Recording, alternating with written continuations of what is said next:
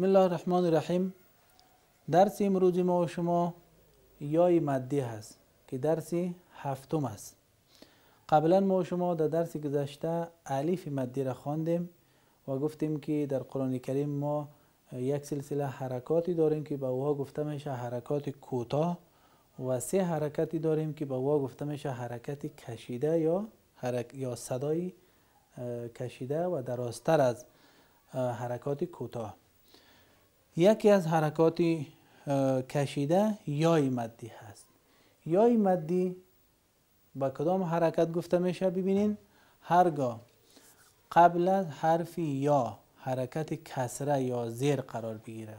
قبل از حرف یا حرفی قرار بگیره که او حرکتی کسره داشته باشه با آن یای مدی گفته می شود قبلا خواندیم که اگر قبل, قبل از الف حرف قرار می داشت که حرکت فتحه می داشت با او الف مدی گفته می شد حالا اگر حرف یا را مشاهده کردین در قرآن کریم که قبل از او حرکتی کسره بود.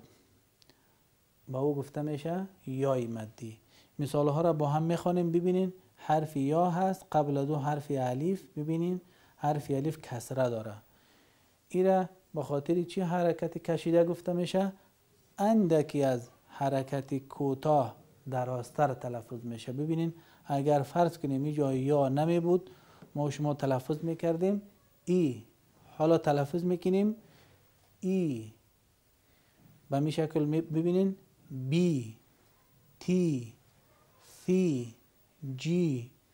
حی. خی. دی. ذی ری.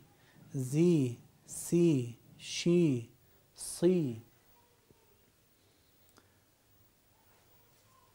ضي طي ظي عي غي في قي كي لي مي ني وي هي و ی بازم این حروف را همراه با حرکتی کشیده یای مدی. تمرین بکنین که خوبتر آشنا شوین. بعد این مثال ها را با هم می‌بینیم. ببینین قبلا ما شما سه حرکت کوتاه خواندیم و دو حرکتی کشیده. تمام این حرکت ها را حالا در قرآن کریم ما شما تمرین می‌کنیم. این مثال ها را ببینین. ع ذا بی اینجا ببینین. ای الف مدی و ای هم یای مدی. ع ذا بی نه اینجا ببینین. نه یعنی حرفی ها که کسره داره همراه با حرف یا و یک جای می‌کنیم اندکی درازتر می‌کشیم. نه وقتی که تمرین هم می‌کنین اینطور تمرین نکنین که به سرعت پیش برین. صالحین به این شکل نه. صالحین. نه کنده کنده. آیسته آیسته و س ن زی دو ما و زی نو هو ا با بی لا به می شکل تمرین می‌کنیم ما شما در قرآن کریم و هر حروفی که دارای حرکات کوتاهی فتحه کسره و زمه و همچنان الف مدی و یای مدی هست کلش را می‌خوانیم. ببینید در این مثال ها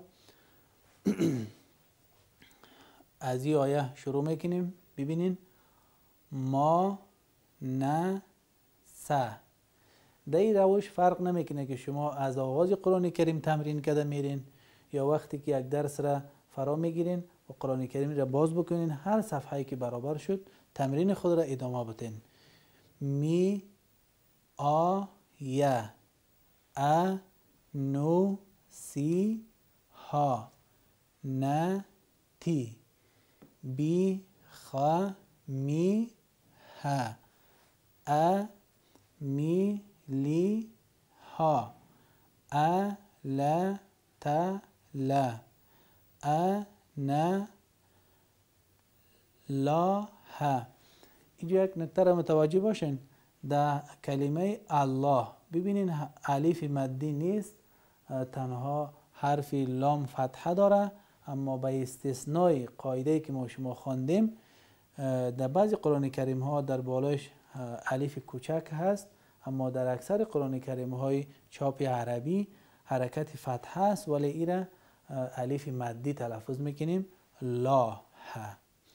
ع لا کو لی ش ق دی ا ل به می شکل ادامه بتین هر قدر که می‌تونین این حرکات را تمرین بکنین انشاءالله که به زودی شما قرآن کریم را در وقت بسیار کم و به شکل بسیار خوب یاد می‌گیرین. تا درس بعدی که یکی از حرکت های کشیده دیگر ما شما می‌خوانیم خدا حافظ